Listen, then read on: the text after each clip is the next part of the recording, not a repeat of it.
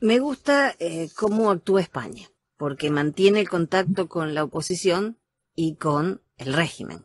Pero lo importante es que la ministra española de Asuntos Exteriores dice que ella está convencida de que, estando con la oposición y con el gobierno, sólo así podrán ayudar a que se avance en una solución política. Increíble. ok. Este, como habíamos dicho, el guiado venía a cumplir dos efectos. Primer efecto totalmente cumplido, que era la reinstitucionalización de la tiranía. Hacer que la tiranía tuviese un nuevo grado de institucionalidad y funcionabilidad.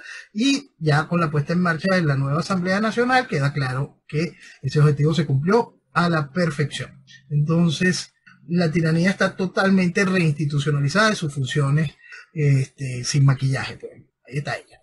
Eh, y la segunda etapa que venía a cumplir el guiado era la aceptación internacional de la particular forma de gobernar de la tiranía.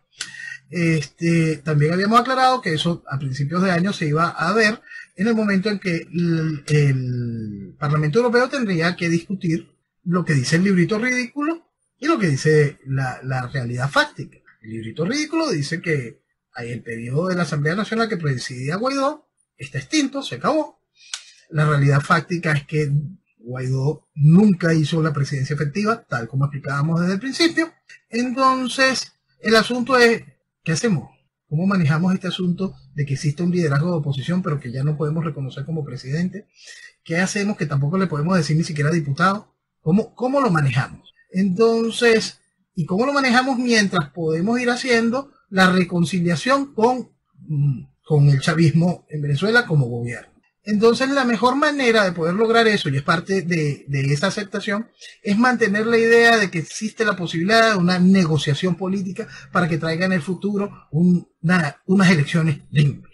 Entonces, bajo ese esquema, el país va a seguir perdiendo el tiempo, el mundo va a seguir financiando la oposición, la oposición va a seguir con la bandera para seguir robando y la tiranía seguirá matando.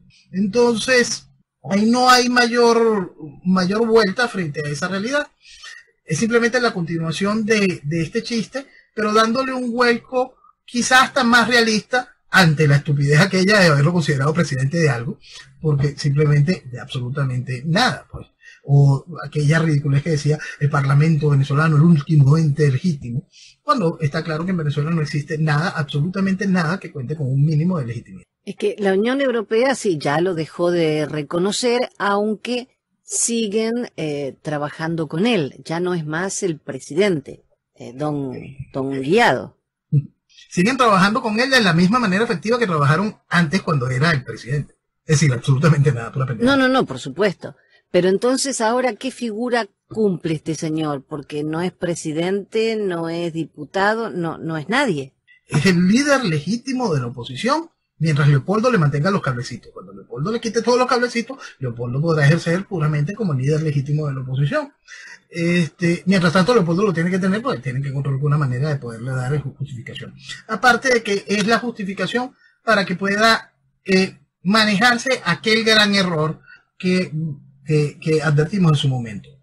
Cuando se desconoció al chavismo, lamentablemente había algo que reconocer, reconocieron a el guiado gran estupidez, porque si hubiesen agarrado el librito ridículo, se hubiesen dado cuenta de que el guiado nada más podía estar 30 días en el poder, llevar al país a unas elecciones, vamos a entender la, realidad, la crisis, tal, cosa, entonces tú te inventas un deadline, pones tu cuenta de tres meses, X. El asunto es que junto con ese desconocimiento al, al hecho del chavismo como gobierno, estaba el problema de qué hacer con las empresas, con los activos venezolanos en el exterior. ¿Qué hacer con los activos venezolanos en el exterior? Activos que van desde empresas como CIDGO o monómetros, monómeros o deuda.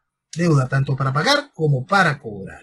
Entonces, allí se le dio una cantidad de espacio, de acción, de manejo al guiado en ese sentido. Entonces el guiado, este, de repente le pone una directiva en CIDGO, pone una directiva en monómeros, pone otra directiva y genera también un, equipo de recuperación de activos. Y quiero hacer un, énfasis ahí y un punto muy importante para que la gente pueda entender cómo funcionan estas cochinadas y cómo, cuál es el hambre depredadora que existe dentro de la misma estructura de, esa oposición en, el caso del guiado. En Paraguay hay una molestia grande porque uno de sus ministros se le acusa de mantener una relación secreta con este, un enviado del guiado. Y el ministro aclara la situación, pues. En Paraguay, ahí el malestar, porque ellos se enteran, fue por una noticia del Washington Post. Entonces el ministro suelta el cuento.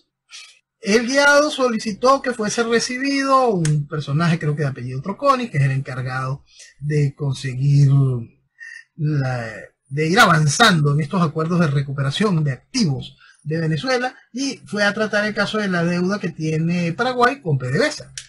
Entonces, para poder conseguir, es decir, para poder tener acceso al dinero que existe allí, este, la propuesta llegaba al hecho de, mira, vamos a negociar la deuda que tú tienes con nosotros y cancélame nada más el 50% de la deuda, chicos. Entonces nosotros perdíamos el 50% del dinero para que la estructura del guiado pudiese tener acceso a la deuda. ¿no? Igual, Paraguay había desconocido al, régimen de Maduro, porque el caso de Paraguay es muy específico. Paraguay no solo desconoció el régimen de Maduro, fue el primer país, y quizá el único, que tuvo la voluntad de hacer totalmente lo correcto. En ese mismo momento en que desconoció, se llevó a su gente a la embajada y retiró al personal de la embajada venezolana allá. ¿Por qué? Porque ellos ya venían del cuento de que había protagonizado Maduro cuando se expulsó del poder al cura, al obispo apóstata Lugo. Y Maduro fue para allá a sabotear al gobierno paraguayo, a sabotear la estructura de las decisiones soberanas de Paraguay. Entonces, ellos tienen ese recuerdo claro y pasaron esta factura completa. En, entonces, ¿qué tenemos claro con eso? La deuda que tiene Paraguay con Venezuela, Paraguay la va a seguir estirando y estirando porque no tienen ningún problema en no pagarle al régimen de, de, régimen chavista. Pero aquí se va a intentar recuperar la deuda por parte de la oposición, por parte de Guaidó, a intentar recuperar la deuda de Paraguay. Es decir, el único país que no tiene ningún tipo de prisa por pagarle, es decir, no es dinero que vaya a recibir Maduro. Eso es importante que la gente lo entienda. Ese dinero no lo iba a recibir Maduro, para más ese dinero estaba en una pelea, estaba en una pelea en una corte de, comercio por demandas interpuestas por Venezuela, en la cual, por supuesto, Venezuela no va a ganar. ¿Por qué? Porque ahorita nada va a ser a favor de Venezuela, mientras esta, esta situación del de régimen chavista esté desconocido. Entonces, no, no hay espacio para eso. El asunto es que llega esta gente del guiado, le ofrece al tipo, págame 50%, para más son tan buenos que le ofrece al tipo cubrir las negociaciones del grupo de, litigantes argentinos que harían la operación por el orden de 26 millones de dólares, también meterlas en la facturita del descuento. Este, y esa es la realidad que es con la que se enfrentaba este ministro paraguayo, el cual deja claro que él en ningún momento podría recomendar que se siguiera tan solo la discusión, que se firmara este documento de intención, debido a las grandísimas fallas que veía en el mismo. Y este, dejando claro que eso en ningún momento sería reconocido por el Tribunal de Comercio que dirime la situación venezolana con Paraguay y esa de... Imagínate hasta dónde llegan en el nivel de la cochinada, en el saqueo que están haciendo, que van allá y le dicen, sí, me la trámite, vamos a solucionar esto así rapidito. Y, arreglamos este negocio. Así, para más yo pago los abogados. Eh, eh, mira, Jenny, cuando empezó este asunto del guiado, uno explicaba que la gente no debería de sorprenderse eh, cuando estamos empezando esto, cuando aparezcan que se roban hasta la ayuda humanitaria, algo que ya es noticia y este, es regular y es harto conocido, ¿no?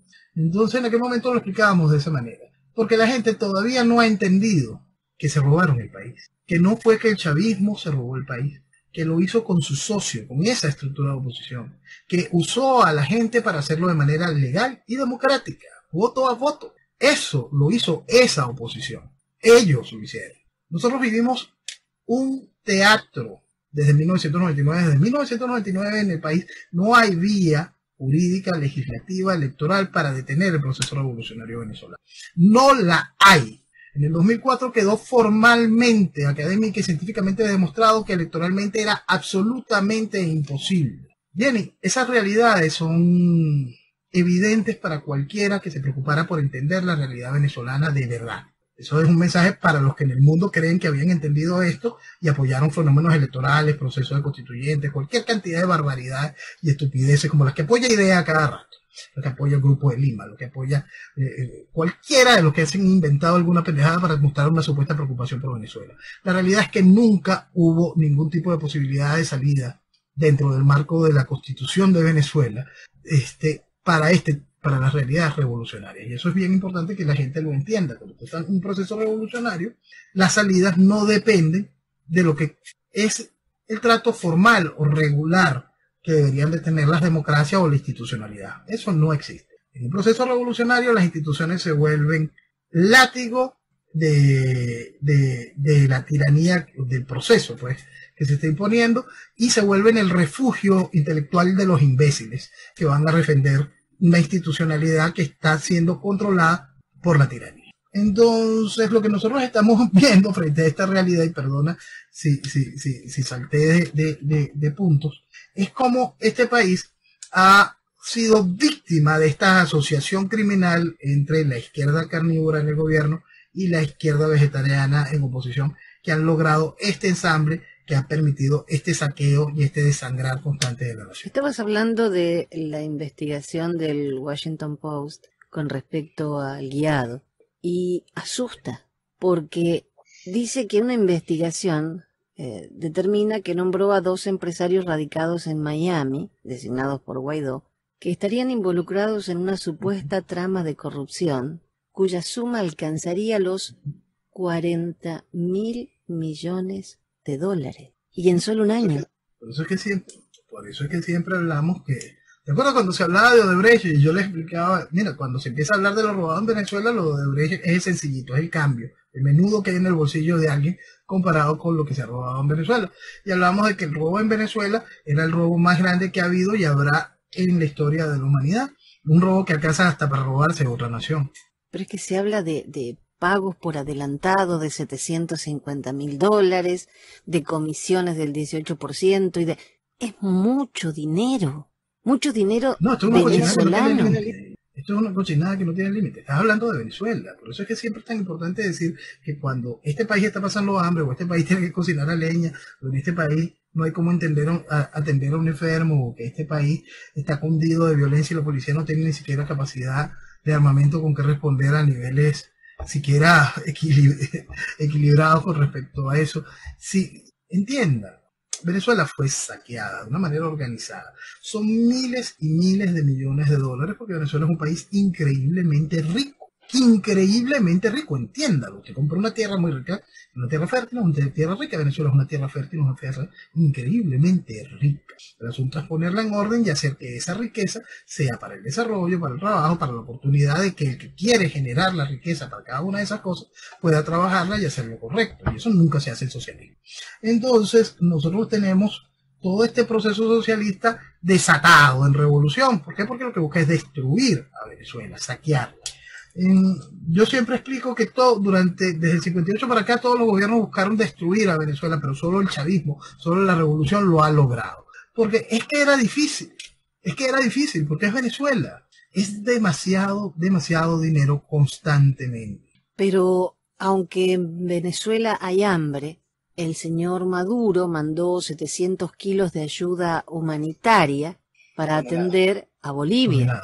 Entonces el presidente de Bolivia, Luis Arce, agradece la ayuda del pueblo venezolano. El pueblo venezolano muere de hambre para que ellos tengan ayuda. Para que ellos también se roben la ayuda, eso tampoco, eso es más o menos lo mismo. Después otro la trianguliza, es la misma cochinada constante. Este, sí, mira, Venezuela siempre fue un país solidario porque tenía con qué como podía. Y este, y el pueblo venezolano, el pueblo, el pueblo venezolano, hasta cuando el mismo Estado no atendía de manera regular las necesidades, el pueblo venezolano se, se, se vuelve. Tú sabes que uno de los últimos espectáculos, ya estaba empezando la, las situaciones un tanto incómodas en Venezuela, cuando el terremoto de Haití. Cuando el terremoto de Haití, la embajada de, de Haití queda en Altamira, en los Palos Grandes, quedó quedado. Este, no estoy muy seguro. Este, Jenny, tenías que ver a la gente. Gente humilde, Jenny, gente humilde se le ven las ropas, llevando tres, cuatro laticas de atún, llevando dos, dos paqueticos de arroz, unos pañales, cualquier cosa. Y eso es la gente, es ese pueblo solidario que siempre ha estado allí. Ese pueblo hoy está pasando hambre porque la revolución así lo quiere, porque la gracia es llevar a Venezuela a las ruinas. Entonces, por eso es que siempre es tan fundamental entender, es Venezuela que está comiendo de la basura. No es un país que no tenga posibilidades de, de, generar riqueza, riqueza, no ni siquiera estabilidad económica, riquezas. Estás hablando de Venezuela, es impresionante. Sí, pero eso es es el socialismo, lamentablemente, y, como siempre decís, la revolución es una sola.